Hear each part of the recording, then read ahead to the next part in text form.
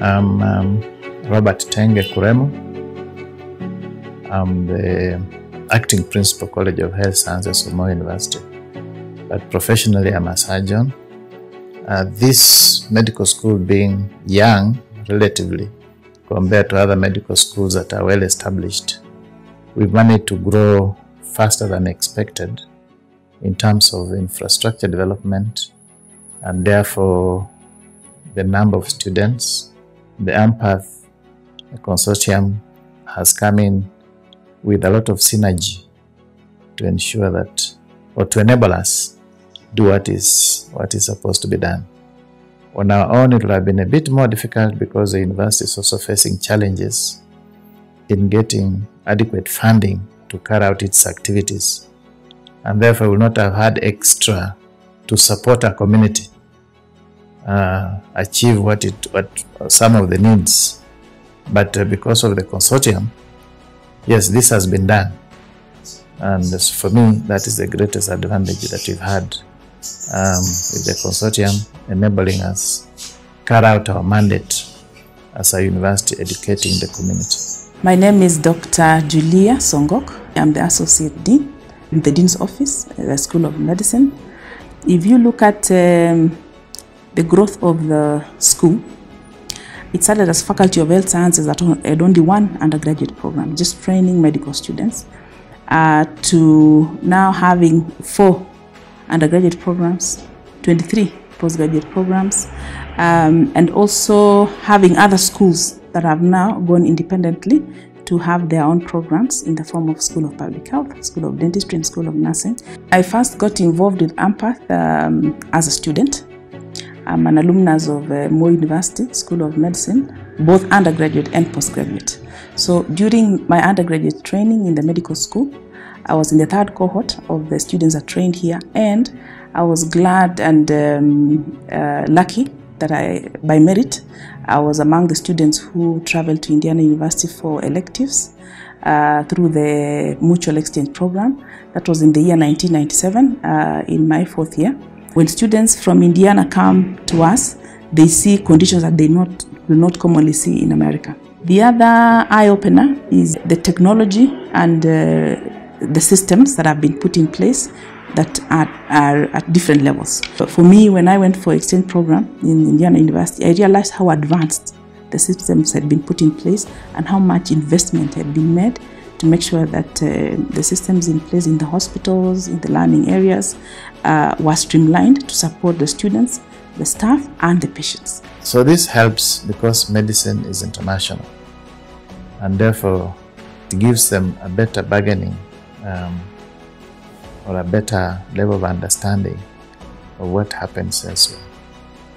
And I believe this has enabled some of our students to go all over the world to see what is happening because of that exposure they have been given. The other benefit is just the cultural exchange because having a student who's been born and grown, grown up in Kenya, meeting the student from another environment, there is so much to share in terms of the differences and the commonality of um, how they grew up and how they look at things and the perspectives. Um, the appreciation of uh, that in every context there is the, the, the, the excellent, the bad, the good, and the ugly in every environment. Moi University School of Medicine involvement with the AMPATH Consortium started uh, as an academic collaboration. They put in so much work in uh, laying the foundation for good academic uh, growth, but within no time they realized that it's difficult to train medical students or even residents in the context of uh, an environment where there is still so much gap in service delivery.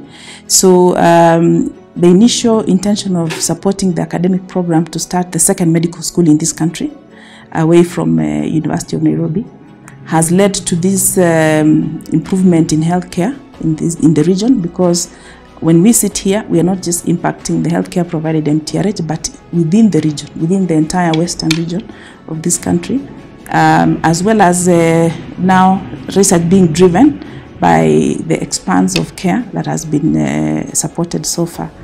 Uh, there's even been a lot of multi-sectoral um, approach that has gone beyond healthcare to now involve the Ministry of Education in the spectrum of population health, which I'm sure has come up in other uh, discussions with the team that is pushing forward the agenda of population health, where you're looking at the family as a whole and not just focusing on their health needs, but also the other needs that impact on health. The collaboration has also brought in the research aspect, where we've had um, grants funded from our partners outside Kenya through the consortium. And this has enabled high level research to be done, but at the same time, is the capacity building for our own researchers in this country so that within a short time, people have achieved um, high levels of being good researchers or researchers of repute who have done commendable job. There has been so much growth in research, not just academics as mentioned earlier, but also research. And the kind of research that we see up until now is collaborative research, where you find that uh, interest areas are done by uh, colleagues from both sides of the divide. The collaboration between uh, Moi University School of Medicine and Indiana University has actually put us in the global map. What do I mean by that? Uh, if you look at uh, any reviews that have been done that relates to the approach for training, uh, we really come up top in the category of problem-based learning where students look at issues on the ground, whether in the hospital setting or in the community, and then learn from those practical issues on the ground. We also have uh, a lot of uh, publications out there that puts um, our faculty in the world map. There was even a ranking that came out uh, a week ago uh, that looked at the universities in the world and some of the top researchers, and six of our faculty within the, uh, the school made the list. And we're really proud of, of the team that uh, put us in that world map. Uh, we also have one of the largest care programs uh, in the region. The community in this part of the world has many needs. AMPATH, now together with um, us, Moi University, and the hospital, we've developed infrastructure where the patients have been seen and treated. So that that is adding to the infrastructure in, in the Ministry of Health. Leading with care is um, an area that um, AMPATH has really done so well in epitomizing.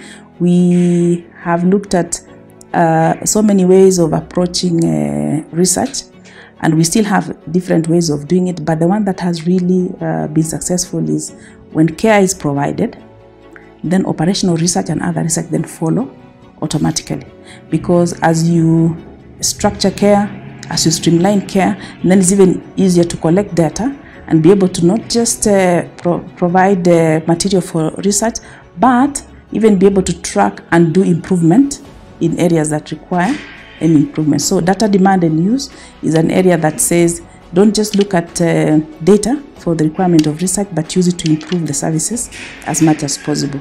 Um, as we also walk through the journey of leading with care, it has been very instrumental that some of the policies at national level, uh, national government, and even at county level have been generated from the research work that happens within AMPATH, within Moi University, and even within MTRH. So informing policy is the ultimate goal when one is doing research, and we've actually managed to achieve that, and we hope to be able to do more.